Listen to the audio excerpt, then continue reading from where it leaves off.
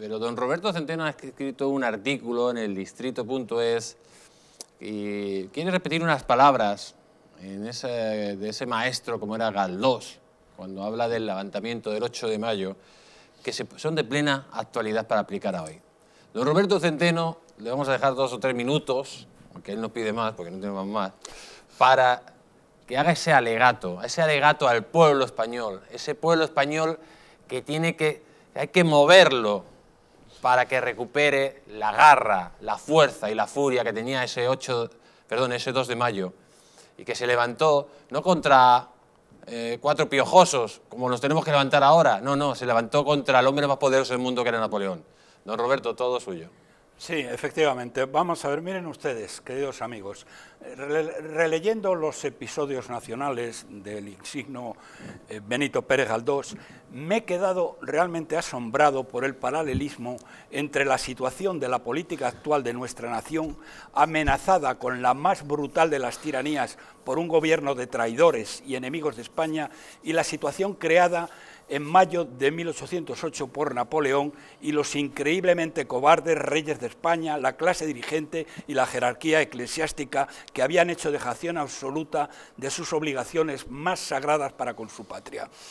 Galdós relata el inicio del levantamiento del pueblo de Madrid el 2 de mayo de 1808 contra los franceses a través de una conversación entre dos personas, un, eh, chico que se llama Gabriel, que va en todo, aparece en todos los episodios nacionales, y un amolador que, aunque analfabeto, tenía un enorme sentido común.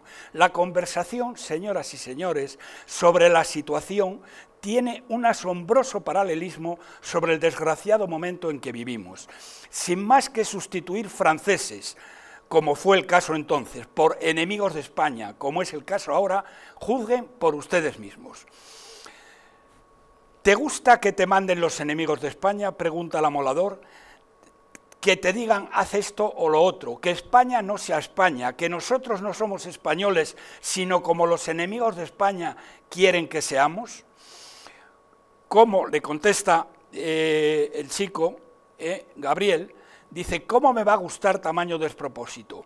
Pero eso es pura fantasía. Los enemigos de España no nos han de mandar. Nuestro rey, cualquiera que sea, no lo consentiría, le responde Gabriel. No tenemos rey, le dice el amolador, pero aquí tenemos tropas que no lo consentirían. Dice, no, porque el rey les ha mandado que sean amigos de los enemigos de España. Fíjense ustedes. ¿eh?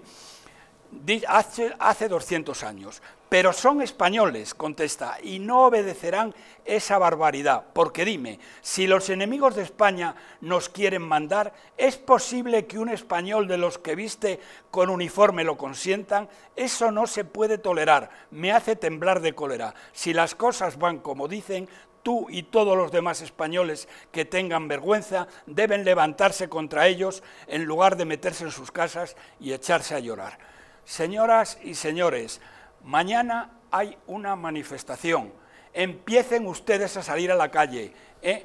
a las 12 en la Puerta del Sol, está permitida por las autoridades. ¿eh?